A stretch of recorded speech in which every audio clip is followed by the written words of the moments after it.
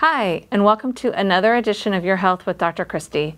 My name is Dr. Christy Risinger, and today I want to give y'all an update on the use of common drugs like metformin, ivermectin, and fluvoxamine for the treatment of COVID-19.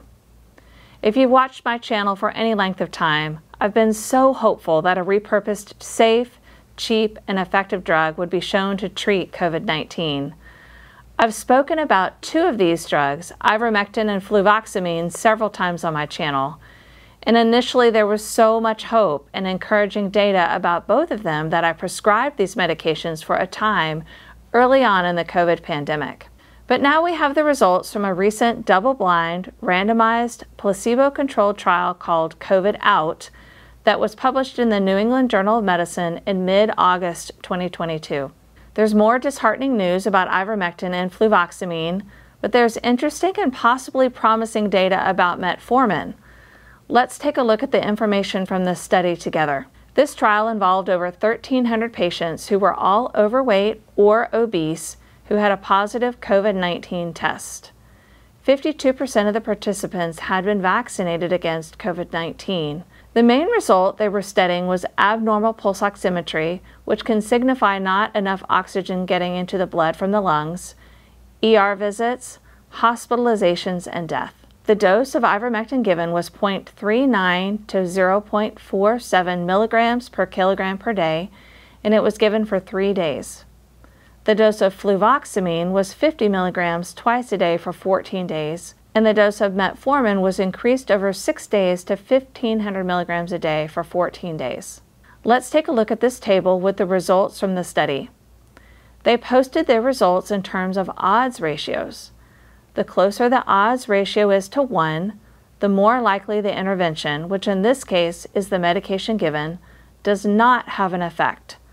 So you can see right off the bat that being given ivermectin did not have any effect on the worsening of COVID-19 illness. Next, let's look at fluvoxamine, and again, it's very close to 1, meaning that taking fluvoxamine did not have any effects on the COVID-19 infection. But interestingly enough, metformin may have shown a small effect. An odds ratio of 0.84 means that taking metformin may reduce the odds of worsening of COVID 19 by 16% compared with someone who does not take this medication. Yes, it's a small effect, but it is an effect, although it was not statistically significant. But when they removed the endpoint of hypoxemia that was reported by patients and used more objective criteria of ER visits, hospitalization, or death, metformin's effect seemed to be even greater and was statistically significant, while the ivermectin and fluvoxamine groups showed an even less beneficial effect. Looking at this data, the odds ratio of 0.58 means that patients that took 1500 milligrams of metformin reduced the odds of going to the hospital or dying by 42% than those patients who did not take metformin.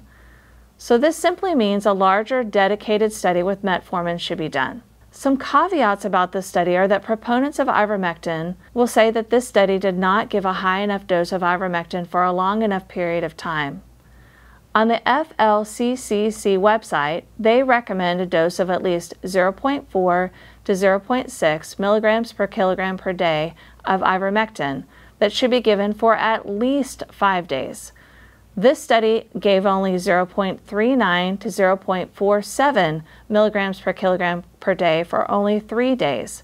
So some patients received the high enough dose, but none of them received it for the correct amount of time, according to proponents of ivermectin.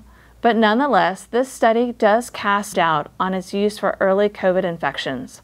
And if you remember the encouraging data on fluvoxamine from the Together trial, that showed a 32% reduction of hospitalization in patients with COVID 19. They used a dose of 100 milligrams twice a day of fluvoxamine for 10 days. The investigators in this study chose a lower dose of fluvoxamine because 100 milligrams twice a day of fluvoxamine can have some side effects like nausea, diarrhea, and headache that cause people to stop taking it.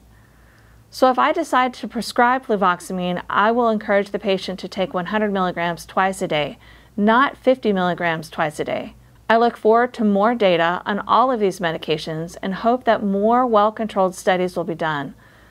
But as I've mentioned before, now that we have expensive medications on the market like Paxlovid that have been proven to work, I know there is less desire for any institution or pharmaceutical company to take on the cost of a placebo controlled study if the medication that's being studied is cheap, like metformin is.